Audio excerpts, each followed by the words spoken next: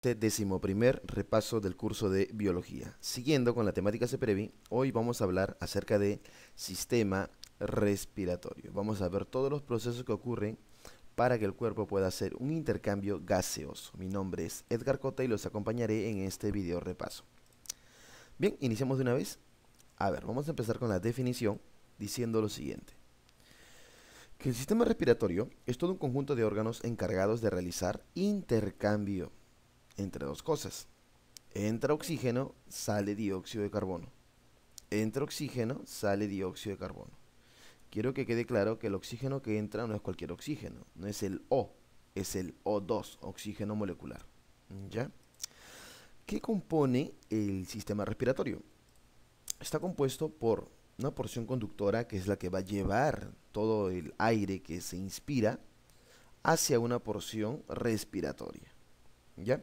La porción conductora está formada por fosas nasales, faringe, laringe, tráquea, bronquios, bronquiolos y la porción respiratoria por todo un árbol bronquial, bronquiolo terminal, bronquiolo respiratorio, conducto alveolar, saco alveolar. Y finalmente llega a los alveolos. Veamos. Todo esto, el árbol bronquial más el alveolo, constituye lo que es el pulmón. ¿Me entiendes? Y acá tenemos el gráfico. Ya, mira, ve, acá están las costillas, acá están los pulmones. Esta membrana en celeste se llama pleura. Esto que está acá son los bronquios que se dividen desde la tráquea. Por acá tenemos la laringe y lo que constituye la faringe y las fosas nasales. ¿Me entiendes? Ya está. A ver, empezamos entonces con la primera porción conductora. Ahí está, porción conductora. Y el primero era las fosas que nasales, exactamente. Eh, está formado por el tabique nasal. Ya, son dos. Y presenta una región, una región vestibular. Son tres regiones, ¿ya? Una región vestibular, una región respiratoria y una región olfatoria. La región vestibular eh, es cubierta por un epitelio plano estratificado no queratinizado. O sea, más o menos como el interior de tu boca, así más o menos, pero que presenta vibrisas. Las vibrisas son vellos nasales, los pelitos, esos son las vibrisas. Ahora, ¿te das cuenta de que tus fosas nasales tienen dos orificios? Ya, esos orificios, cada orificio que bien conoce tu dedo, se llama narina por si acaso. Y los vellos serán vibrisas, ya está. La región respiratoria se le llama así porque está cubierta de una mucosa llamada pituitaria roja, así se le llama. Y es roja porque posee bastantes vasos sanguíneos. ¿No ves que la sangre es roja? Además tu sangre es caliente, por lo tanto la pituitaria roja calienta el aire inspirado. ¿Me entiendes? A ver, la siguiente región olfatoria, cubierta por una mucosa o pituitaria amarilla. ¿Pero por qué es amarilla? Es amarilla porque tiene bastantes neuronas. Y las neuronas, sabrás, eh, tiene bastante vainas de mielina. Entonces, las mielinas son de color amarillenta, por lo tanto, las neuronas hacen un aspecto de pituitaria amarilla. Debes, debes recordar también que las células caliciformes están presentes formando bastante moco. Repito, formando bastante moco. ¿No entendiste? Acá vas a entender. Mira, estos son las narinas, ¿no? El orificio, ¿recuerdas que te dije que se llamaban narinas? Ya está. La primera región es la región vestibular. Aquella donde hay vellos nasales. ¿Ya? Aquí está, ¿ve? Vellos nasales. Vibrisas, pues. Luego viene una región bastante roja llamada región respiratoria, la cual presenta pituitaria. ¿De qué color? Roja. ¿Por qué? Porque tiene que vasos que sanguíneos y, y los vasos sanguíneos tienen que sangre y la sangre es caliente. Por lo tanto, calientan el aire inspirado, ¿me entiendes? O sea, sale por lógica. Luego viene la región olfatoria, que presenta la pituitaria que amarilla, correcto. ¿Y por qué es pituitaria amarilla? porque las neuronas presentan vainas de mielina y es este el que le da el color amarillento. Ya, pero no es lo único, acá no ha acabado. Fíjate esto. Seno frontal, seno esfenoidal. Resulta que estos senos son unos, eh, unos espacios dentro de los huesos que tienen diferentes misiones. Y como están paralelo a las fosas nasales, se le dice senos paranasales. ¿Entiendes? Ya están, los cuales tienen funciones. Eh, bueno, son cavidades, huecos, óseos, que, son que producen moco, productoras de moco, van a disminuir el peso de la cabeza y sirven como caja de resonancia. Recuerde usted que la inflamación de los senos produce sinusitis, senos inflamados, sinusitis. Acá hay una mejor imagen para que veas lo de acá. Yo sé que te han quedado dudas. Mira, pituitaria roja, bien roja, ¿viste? La pituitaria roja es una región que respiratoria. La pituitaria amarilla es una región que olfatoria. ¿Y por qué es olfatoria? Porque acá se va a oler. ¿Y por qué se huele? Porque hay neuronas. Estas neuronas van a, captar los estímulos olfatorios. ¿Ya? Recuerda, son tres, región vestibular, respiratoria y olfatoria. En la pituitaria roja se calienta, en la pituitaria amarilla se da la recepción de los estímulos olfatorios. No olvide usted eso. Continuamos. Otra, otra estructura por parte de la porción conductora. La faringe, pero la faringe ya hemos visto, ¿recuerdas? Órgano tubular, músculo membranoso, bla, bla, bla, bla. ¿No recuerdas que hemos visto esto? Si tú has visto el video de sistema digestivo, recordarás esta imagen. Y ya lo hemos visto. La faringe se dividía en tres porciones. Por su vecindad, se dividía en nasofaringe en relación con la nariz, orofaringe en relación con la boca, y hipofaringe en relación con la laringe. Acá tenemos un cuadrito. La faringe se relaciona con las fosas nasales por medio de las coanas. La faringe se relaciona con el oído medio por medio de la trompa de Eustaquio. La faringe se relaciona con la boca por medio del istmo de las fauces. La faringe se relaciona con la laringe por medio del aditus laringio. La faringe se relaciona con el esófago por medio del esfínter esofágico superior. Tienes que saberlo. Seguimos. Laringe, la laringecía, eh, va a conectar la parte de la hipofaringe con la tráquea. Vamos a retroceder un ratito. En, el sistema digestivo, la comida entraba por acá y se iba para acá. Mira, mira, mira, mira, mira, mira, mira, mira la flecha. Se iba para acá, ¿me entiendes? ¿Hacia dónde? ¿Hacia dónde? ¿Qué dice acá? Hacia el esófago. Pero ahora estamos, ya no estamos acá. Ahora estamos hablando del fluido del aire. Y en el aire el aire inspirado viene por acá, pero no se va al esófago, sino das esta voltereta, mira, y se viene por la tráquea, ¿me entiendes? Entonces, terminando la faringe, ¿qué empieza? La laringe. Por eso, acá yo te pongo que la laringe conecta la hipofaringe con la tráquea, pues. ¿Ves? Y presenta cartílagos, que pueden ser pares o impares.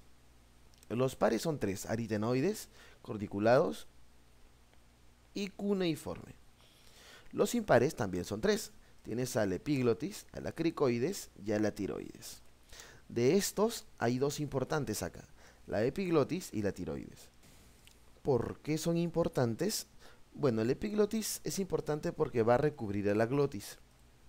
Y la tiroides es importante porque por cuestiones hormonales crece más en los varones y se le llama manzana de Adán. Pliegues vestibulares superiores es otra porción que representa a la, laringe. Los pliegues vestibulares superiores, conocidos también como cuerdas vocales falsas. Y los pliegues vocales inferiores, conocidos como cuerdas vocales verdaderas. Son estas las que van a emitir la voz al momento de vibrar. Al momento de vibrar, por ejemplo, un cantante, eh, al momento de eh, emitir una voz, una, emitir su canto, va a generar un sonido de ondas, justamente porque ese vibrato que hace, hace pues que vibren las cuerdas vocales verdaderas las que van a emitir la voz y eh, hacernos escuchar esa voz melodiosa. Quiero que recuerdes también que la laringe, por este efecto, es el órgano fonador, es el principal órgano fonador del humano. Que debes recordar que tiene cartílagos pares e impares y que los pliegues vocales inferiores eh, son los que Ahí se encuentran las cuerdas vocales verdaderas. Ahora, entre cuerda y cuerda va a haber un espacio. Ese espacio se llama glotis. La glotis es el espacio comprendido entre las cuerdas bucales verdaderas, ¿ok? Ahí está. Mira, la laringe, vista de un lado, y, a ver la vueltita, vista de otro lado, ¿me entiendes? Entonces mira, la laringe, vista posterior, vista anterior. ¿Ya? Ahí está. Cricoides, tiroides, ahí está. ¿Ves? Mira, esta es la epiglotis y abajo esta es la glotis. Cuerdas vocales verdaderas, ahí está. Cuerdas vocales falsas. Estas no vibran, estas son las que vibran y van a originar tu vocecita. Luego que sigue, a ver, luego que sigue, mira. Tráquea, a ver. Tráquea, ¿ya ves? ¿Qué pasa con la tráquea? Eh, une la laringe eh, con los bronquios. La tráquea va desde la laringe hasta la vértebra número T5. Y de ahí se bifurca, ahí se divide en dos bronquios. ¿Ves? Dos bronquios que se van a llamar primarios o principales. La tráquea es un, músculo cartilaginoso que está formada por la juxtaposición de cartílagos yalinos, uno encima de otro, en forma de herradura. Presenta células caliciformes, o sea, productoras de moco. Mira, acá está la tráquea. ¿Ves? Mira. Resulta que la tráquea que ves aquí, mira, esta parte, acá termina la laringe. Mira, acá termina la laringe. Por acá tenemos la tráquea, tráquea, tráquea, tráquea, tráquea, tráquea, tráquea. Y justo acá, a nivel de la T5, T5 se, se bifurca, mira, se va a bifurcar, se va a dividir en dos bronquios principales. Esto es lo que vamos a ver después. Ahorita nos centramos en la tráquea. Hagamos un corte a ver qué pasa. En este corte veo, mira, un cartílago hialino. Ah, ¿no lo ves? Mira, acá está, lo de amarillo. Le pregunto a usted, ¿el cartílago hialino está recubriendo todo el anillo? Falso está recubriendo prácticamente la mitad. Por eso se le dice con forma de herradura, ¿me entiendes? ¿Verdad, no? ¿Y qué? ¿Y luego cómo se completa? Con músculo liso, para que así pueda dilatarse la tráquea. Ahí está. El espacio de adentro es el lumen. Repito, es el lumen. Entonces, nos ubicamos. Tráquea, anillo cartilaginoso, músculo liso y lumen o luz traqueal, ¿ya? Por delante siempre se va a encontrar pues el esófago. Ya está. Continuamos entonces. Pero en tu cuerpo, o sea, en, en, tu, en la vida real, el esófago siempre está detrás de tu tráquea, ¿ya? Solo que acá en el dibujo está hacia arriba. Por ejemplo, eh, a ver, dirige tu mano a tu cuellito. Ya lo hiciste, ya tocas eh, algo cartilaginoso, ¿no es cierto? Claro. Ahora, intenta pasar su salivita. Ya. ¿Viste que algo se subió y bajó? Algo subió y bajó. Son los movimientos de los cartílagos por el movimiento del epiglotis. ¿Me entiendes? Entonces, todo lo que estás tocando hacia abajo es la tráquea. ¿Y dónde está mi esófago? Tu esófago está justo detrás. ¿Ya? Solo que acá en el dibujo lo están mencionando de esta manera. Ojo con eso. Ya está. Bien, entonces queda, queda claro que la tráquea eh, va desde la laringe, se bifurca en la T5, forma los bronquios primarios, que acá los estás viendo, es una unión uno encima de otro, yuxtaposición de cartílagos hialinos y presenta células caliciformes para que formen moco. ¿Para qué quiero formar moco? Para que el aire se humedezca. Recuerda que el aire debe entrar caliente, húmedo y limpio.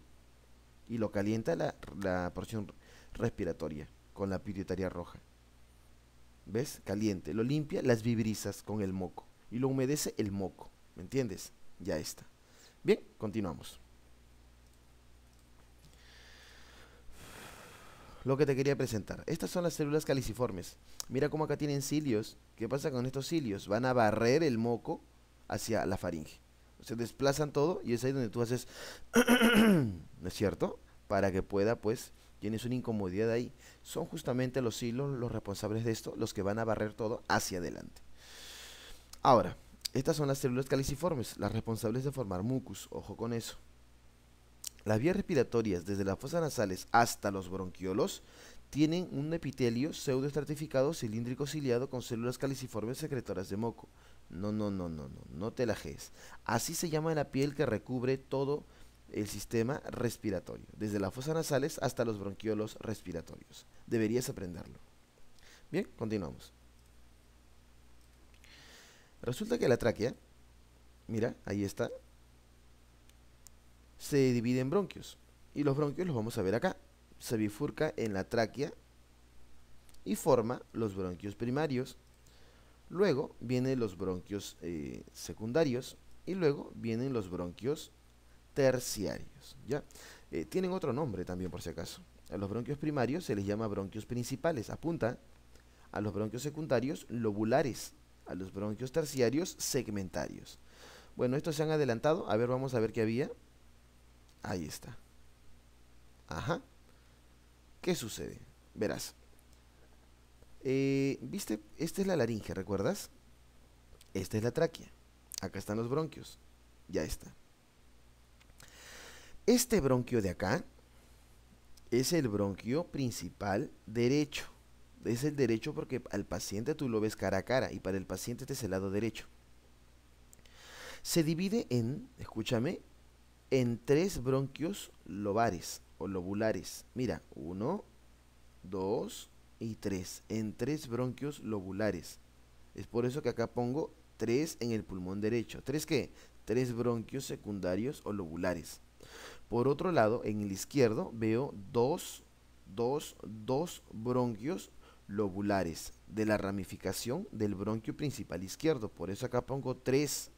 ¿Tres de qué? tres bronquios secundarios en el pulmón izquierdo. ¿Me entendiste? Ya está. Pero estos tres de acá, 1, 2, 3, se dividen en 10. 10 en el pulmón derecho, 10 de bronquios terciarios. Y en el izquierdo se van a dividir hasta llegar a 8. Por eso pongo 8 pulmón izquierdo. Esto es muy importante que lo aprendas. Ojo con esto. Es muy importante que lo aprendas. ¿Cuántos bronquios principales hay? Uno en cada lado.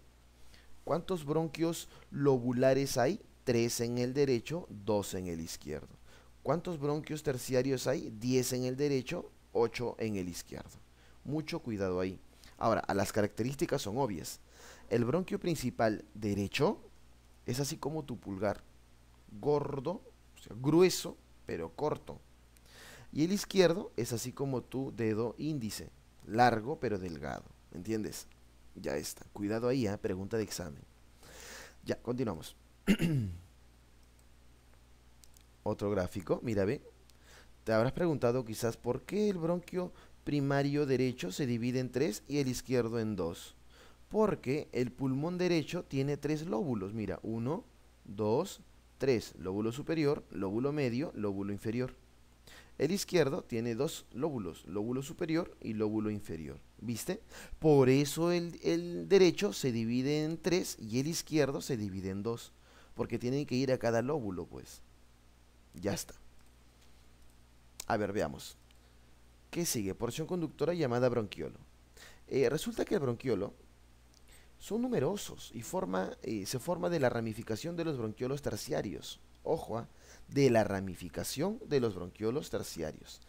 Cada uno se introduce al lobulillo pulmonar. ¿Qué es el lobulillo pulmonar? Es una unidad anátomo-funcional del pulmón. Es lo mínimo que puede funcionar dentro de un pulmón. ¿Ya? Y ahí te he puesto el dibujo para que te ubiques. Son estas bolitas a modo de uvas que van a constituir los alveolos, llamado lobulillo pulmonar, que es la mínima unidad anátomo-funcional. Continúo. porción respiratoria. Veamos qué hay acá. Terminó la, la porción conductora. Vamos con el pulmón. Es un órgano cónico ubicado en la cavidad torácica y está cubierto por una capa llamada pleura. No te olvides de eso. Que presenta dos hojas, una hoja parietal y una hoja visceral. La hoja visceral está unida a la víscera, o sea, al pulmón. El espacio comprendido entre los pulmones se llama mediastino partes de cada pulmón, base, vértice, cara lateral o costal y cara mediastínica. Veamos. Cisuras en los pulmones, ya te lo mencioné. En el derecho hay cuántos? Hay tres. En el izquierdo hay dos. Pero esos son los lóbulos. Si hablamos de las cisuras, hay dos y uno, ¿no es cierto? Ahorita te dibujo, ¿ya? Bien. ¿Ves esta cisura? ¿Ves esta de acá? ¿Cuántas hay en total? Dos. Dos cisuras. ¿Qué genera cuántos lóbulos? Tres. ¿Ves esta cisura? ¿Cuántas cisuras hay? Una nada más. ¿Qué genera cuántos lóbulos? Dos. Ahí está. Bien, y el, el pulmón tiene partes. Mira, mira cómo el bronquio principal derecho se divide en 1, 2, 3. Y el izquierdo en 1 y 2. Nada más. ¿Viste? Ya está. Continuamos. Vértice, superficie costal, base, mediastino, superficie mediastinal. ¿Ya? El espacio comprendido entre los pulmones se llama mediastino. Este es el pulmón derecho, este es el pulmón izquierdo. Ya está. Vamos a ver qué hay en el mediastino en la cara mediastínica del corazón. Estamos viendo desde el medio, ¿eh? por si acaso. Estamos viendo desde el medio. ¿Qué sucede? ¿Te das cuenta que hay un conjunto de paquetes que está entrando y saliendo del pulmón? ¿Cómo se llama ese conjunto de paquetes? Se llama... Acá está, mira, ¿es, ¿ves? Mira, esto de acá, esto de aquí, esto de aquí. Entra y sale, ¿no? Se llama pedículo pulmonar. Y el orificio por donde entran y salen se llama ilio pulmonar. ¿Me entendiste? Repito, los paquetes que entran y salen se llama pedículo, con P de paquete, lo, el pedículo pulmonar. Están los bronquios, vasos, nervios, todo lo que entra y sale. Pero eh, por el, ¿cómo se llama el orificio por donde entran y salen? El orificio se llama introito o ilio pulmonar. ¿Ya? Mucho cuidado ahí. Orificio, ilio. Paquete, pedículo. No te olvides. Continúo. Porción respiratoria. El árbol bronquial, ya hablamos de esto, formado por la ramificación del bronquiolo. Y tenemos al bronquiolo terminal, al bronquiolo respiratorio, a los conductos alveolares, al saco alveolar, que contiene los alveolos. Veamos. Ahí está. Bronquiolo terminal, bronquiolo respiratorio, los conductos alveolares y los sacos alveolares. ¿Viste? El bronquiolo respiratorio, los, conductos alveolares y el saco alveolar eh, constituye el nombre de acino. Estos últimos tres cosas, bronquiolo respiratorio, conducto alveolar, saco alveolar, recibe el nombre de acino, acino pulmonar, por si acaso. Bien, vamos a ver qué hay en estas bolitas. Ahí está, fíjate, el pulmón representado de esta manera. Una de estas bolitas la represento así. Voy a agarrar una nada más y ahí está. Mira cómo entra CO2, o bueno, sale CO2 y entra oxígeno. ¿Sabes cómo se le llama ese intercambio de gases? hematosis. Hematosis. Y ocurre en los alveolos. ¿Ya? En los alveolos. Ese es el objetivo del sistema respiratorio. Veamos qué más hay. Los alveolos van a ser sacos y hay eh, de 200 a 300 micrómetros de diámetro. Forman un área de 70 metros cuadrados y está rodeado de bastantes capilares. Ahora, mira, acá tenemos a uno, a un alveolo, este es un alveolo, mira. ¿Qué pasa con este alveolo? Tiene nombres, tiene hay células, pues. Este es un capilar por donde va a ser el intercambio de gases. Este es otro capilar por donde hace intercambio de gases. A este se le llama neumocito 2. Al de acá se le llama macrófago alveolar. Y a este se le llama neumocito 1. Al neumocito 2 y al macrófago alveolar les debes atribuir cosas muy importantes. El neumocito 2 es el que va a formar una sustancia, sustancia surfactante. Esta película en celeste que ves es la sustancia surfactante que impide que esta pared se plegue con esta pared y así el paciente no se asfixie. Si esto pasa, el paciente va a tener un problema asmático. Es el neumocito 2. Elabora la sustancia surfactante que evita que las paredes del alveolo se colapsen. Y este de acá este de acá se llama macrófago.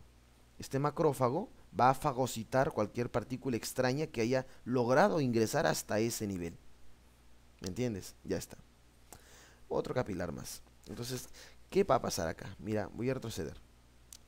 Eh, vamos a suponer que acá hay oxígeno y que acá hay CO2. Cuando ellos quieren pasar, deben atravesar cuatro paredes. La primera es la sustancia surfactante, la película celeste. Sustancia surfactante, elaborada por el neumocito 2. La siguiente es el epitelio alveolar, toda la zona gruesa que constituye las células del alveolo. La siguiente es la membrana que da origen a las células del alveolo y a las células del capilar. Membrana alveolo capilar, entre ellas dos. Y la última es el endotelio del capilar sanguíneo. Ahí está. A ver, veamos qué hay. Mira, ve, lo que te decías. Igualito está, igualito, es la misma diapositiva. Mira cómo entra el oxígeno y cómo va a distribuirse en todo este vaso sanguíneo. Que atraviesa, te dije, mira, plagea, sustancia surfactante, membrana o epitelio alveolar, la membrana del alveolo y del capilar y el último, el endotelio capilar. El oxígeno pasa por difusión, ojo, y el dióxido también pasa por difusión. Ya está, pero mira cómo esto se oxigena, se oxigena, se oxigena y la sangre sale más rojita, ¿viste? Ya está. Entonces, ¿qué sucede? No olvidar el paso. Son cuatro niveles. El primero es sustancia surfactante. El segundo es epitelio alveolar. El tercero es membrana basal del alveolo y del capilar. Y el cuarto es el endotelio del capilar sanguíneo. Continúo. Vamos a hablar de fisiología respiratoria. La inspiración y la expiración. Veamos la inspiración. Es el ingreso de aire a los pulmones. Sucede cuando la presión pulmonar es menor que la presión atmosférica. Como la presión atmosférica es mayor, el aire entra. El diafragma se va a contraer y al contraerse baja. Los intercostales se distienden. Por lo tanto, el volumen torácico aumenta. Mira, mira, mira cómo el diafragma ha bajado y mira cómo entra aire a los pulmones. ¿Me entiendes? Ahí está. Pero, ¿qué va a pasar si ocurre todo lo contrario? La salida de aire en los pulmones Sucede cuando la presión pulmonar es mayor que la presión atmosférica. Razona conmigo. Si aquel diafragma se contrae, aquel diafragma se relaja. Por lo tanto, sube. Muy bien. Los intercostales se comprimen y el volumen torácico disminuye. Todo lo contrario, ¿viste? Ahora quiero que compares los dibujos. Este con este. Mira cómo aquel diafragma ha subido. Si ha subido, no está empujando el aire de los pulmones. Y mira cómo el aire se va, constituyendo la expiración. Si el diafragma se mete, o sea, baja, constituye la inspiración. Si empuja, la expiración. Bacán. Ya tú repites el video. Frecuencia respiratoria. Es cuánto, eh, cuánta respiración hace un adulto en, en, reposo. Son de 12 a 14 respiraciones por cada minuto. ¿Ya? Ahí está. Inspiración, mira los músculos que trabajan, suben todos, el diafragma baja. Expiración, mira todos bajan, pero el diafragma que no lo ves, sube. ¿Ya? Ahí está en una inspiración forzada, interviene, en una inspiración forzada, cuando tú tomas bastante aire, interviene el escaleno y, los, y el son los que ayudan. En una expiración forzada interviene en los músculos abdominales. ¿Ya? Bacán, continuamos. Ya tú repites el video, ¿ah? Fisiología respiratoria. A ver, la frecuencia respiratoria en un adulto, ya te dije, es de 12 por minuto. Volúmenes pulmonares. ¿Qué pasa acá? ¿Conoces este dibujo? Ya. Voy a hacer que una persona respire y mira, ve. A ver, respira. La persona respira. y, y, luego le digo a la persona, bota todo el aire que puedas. Bota todo el aire que puede la persona. Sigue respirando normal. Y luego le digo, absorbe todo el aire que puedas. La persona absorbe todo el aire que pueda. Luego respira normal. Absorbe otra vez todo el aire que pueda. Luego bota todo el aire que pueda. Y luego la persona respira normal. De acá yo tengo unas capacidades y unos volúmenes. El volumen que normalmente se, se, ve aquí, el volumen normal, este volumen que ves, se llama volumen tidal o volumen de aire corriente, por si acaso. Volumen tidal y es de valor 500 mililitros. El volumen que la persona hace cuando hace una inspiración forzada se llama volumen inspiratoria de reserva. Ojo volumen inspiratoria de reserva. Y es de 3100 mililitros. Pero cuando la persona bota todo el aire, según ella, es el volumen de reserva expiratorio y es de 1200 mililitros. Pero así botes todo el aire, no dejas al pulmón sin aire, en verdad. Claro, pues. Ah, siempre va a haber un volumen residual, que es también de 1200, igual que la reserva expiratoria. ¿Me entiendes? Ya está. Bacán. Eh, hay una fórmula para hallar cuánto volumen de aire entra y sale por cada minuto. ¿Qué tengo que hacer? Fácil. debo multiplicar el volumen de aire corriente, o sea, el volumen tidal, que vale 500, mira acá está, tidal 500. ¿Y cuántas veces respiras por minuto? Mira acá está, 12. Y 500 por 12, 6000 mililitros, ¿me entiendes? Es el volumen minuto pulmonar. Repito, la fórmula ahí está. Corriente respiratoria. Volumen corriente, 500. Frecuencia respiratoria, 12. 500 por 12, 6000 mililitros. En un minuto. Continúo. Capacidades. La capacidad vital, por si acaso, aquí está, es la suma del volumen de inspiratorio de reserva, del volumen tidal y del volumen de reserva expiratoria. ¿Ya? Mira, de volumen de reserva expiratoria. ¿Viste? Volumen de reserva inspiratoria más volumen de reserva expiratoria más el volumen tidal, por si acaso. Acá le faltó el volumen tidal. Continúo. Capacidad pulmonar total. La capacidad pulmonar total es el todo. Todo, todo, todo, todo, todo. Volumen de reserva inspiratoria, volumen tidal, volumen de reserva expiratoria y volumen residual. Y todo me da justamente un valor. Es la suma de capacidad vital, o sea, de todo esto, más el volumen residual, que es lo mismo, ¿no? A decir, esto más esto más esto, lo abrevio, capacidad vital, que es todo lo de arriba, más el volumen residual, que es justamente, como ya lo habíamos hecho, de 6000. Corregimos arriba, ¿ya? Ya está, fíjate, capacidad vital, ya le pusimos, ¿viste? El volumen tidal más el volumen de reserva respiratoria más el volumen de reserva inspiratoria. Capacidad pulmonar total es el todo, bacán. Fisiología respiratoria. Vamos a ver hematosis, control nervioso, transporte de oxígeno, transporte de dióxido de carbono. Importantísimo, con este acabamos. ¿Qué es la hematosis? Es el intercambio de gases. ¿Dónde ocurre? En los alvéolos. ¿Quién, mira, ve, intercambio de gases. Control nervioso. ¿Quién controla a, que tú estés respirando? El bulbo raquídeo. Controla la ritmicidad pulmonar. Pero la protuberancia anular controla el, el área neumotáxica y el área apnéustica. Por si acaso. ¿No sabes qué es? Averígualo. Transporte de oxígeno. El oxígeno se transporta generalmente como oxihemoglobina en un valor de 97%. Repito, el oxígeno se transporta unido a la hemoglobina en un valor de 97%. El resto se transporta por el plasma sanguíneo. El dióxido de carbono generalmente se transporta como ion bicarbonato a través de un 70%. El dióxido de carbono se, se transporta a través del ion bicarbonato. Y eh, también lo transporta la hemoglobina. Pero si la hemoglobina transporta CO2, pasa a llamarse carbaminohemoglobina. Es un 23%. Que si transporta oxígeno, si la hemoglobina transporta oxígeno, se va a llamar oxihemoglobina. Si transporta CO2, carbaminohemoglobina. ¿Me entiendes? Además, el consejito que te doy ahora es que usted debe cuidar sus pulmones y no llegar a un exceso del consumo del cigarro, porque si no te produce la antracosis. Y la antracosis es justamente esto. Paciente fumador, activo o pasivo, y un paciente con vida natural. ¿Viste? Mira, mira, mira, mira. Ahí está. ¿Te das cuenta? Mucho cuidado. ¿ah? ¿Qué es la antracosis? Es la acumulación de átomos de carbono en todos los pulmones. Haciendo así una disfunción del pulmón, una dificultad para poder hacer una buena respiración. Por lo tanto, el paciente va a tener males cardíacos. Mira cómo el corazón ha incrementado su tamaño para poder eh, reparar la disfunción que tiene el pulmón. ¿Viste? Bueno. Señores, disculpen que haya corrido, pero debe ser media horita nada más. No voy a, extenderme como sistema digestivo. Bien, espero haberlos ayudado. Ahí está. Mi nombre es Edgar Cota. Puedes seguirme en www.facebook.com slash cotamanía. Acá, agarrando el pulmón. Ahí está.